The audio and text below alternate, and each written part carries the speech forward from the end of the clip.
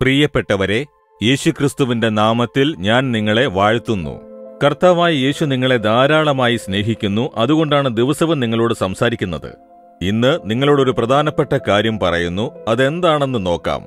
യശയ്യ വൻപത്തിയൊന്നാം അധ്യായം ഒൻപതാം വാക്യത്തിൽ യഹോവയുടെ ഭുജമേ ഉണരുക ഉണരുക ശക്തി ധരിച്ചുകൊള്ളുക. നിങ്ങളെ നോക്കിയാണ് പറയുന്നത്.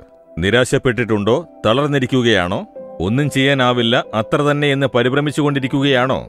ദൈവം പറയുന്നു ഉണരൂ മകനെ ഉണരൂ മകളെ ശക്തി ധരിച്ചു കൊള്ളുക ഞാനുണ്ട് നിന്നെ ശക്തീകരിക്കാനെന്ന് പറഞ്ഞ് ദൈവം നിങ്ങളോട് സംസാരിക്കുന്നു.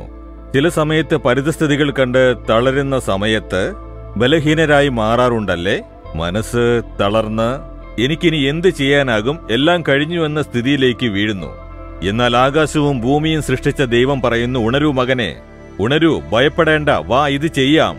നീ ശക്തനാകുന്നു. ദൈവം നമുക്ക് ശക്തി തരുന്നവനാണ്. ഏതൊരു കാര്യത്തിനും ബലമുണ്ടാവണം.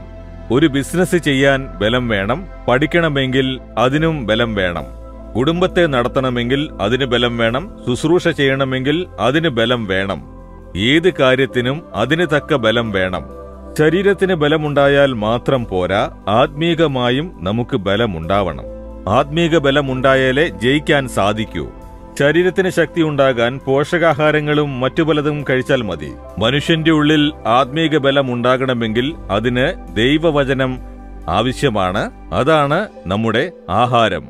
പരിശുദ്ധാത്മാവിനാൽ നിറഞ്ഞു പ്രാർത്ഥിക്കുന്ന പ്രാർത്ഥനയാണ് ബലം.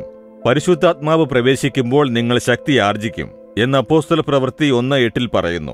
നമുക്ക് പരിശുദ്ധാത്മാവിന്റെ ബലം ആവശ്യമാണ് ശക്തി ആർജിക്കുവനെന്ന് ദൈവം പറയുന്നു. അതിനെന്ത് ചെയ്യണം? നിങ്ങൾ ഒരിടത്തിരുന്ന് ബൈബിൾ വായിക്കണം പരിശുദ്ധാത്മാവിനാൽ നിറഞ്ഞ് പ്രാർത്ഥിക്കണം.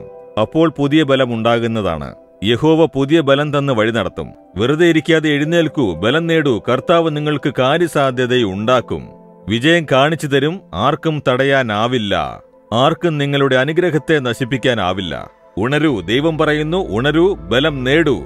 കാര്യസാധ്യത ഉണ്ടാവും വാ ഞാനും കൂടെയുണ്ടെന്ന് പറയുന്നു ഇതിലുമുപരി വേറെന്ത് വേണം? നമ്മെ ബലപ്പെടുത്തുന്ന യേശു കൂടെയുണ്ട്. അതിനുവേണ്ടിയാണ് യേശു കുരിശിൽ മരിച്ചത് നിങ്ങളെ ബലപ്പെടുത്താനും നിങ്ങളുടെ കൂടെയിരുന്ന് വഴി നടത്താനും. ദൈവത്തോട് പറയാമോ പിതാവേ അങ്ങ് മതി അങ്ങയുടെ ബലം മതി. അങ്ങ് കൂടെയുണ്ടെങ്കിൽ എനിക്കെല്ലാം ചെയ്യാൻ സാധിക്കും നേടാനാകും ജയിക്കാൻ കഴിയും. അങ്ങന്റെ കൂടെയിരുന്ന് എന്നെ ബലപ്പെടുത്തി വഴി നടത്തേണമേ. യേശുവിന്റെ നാമത്തിൽ പ്രാർത്ഥിക്കുന്നു. ആമേൻ ആമേൻ.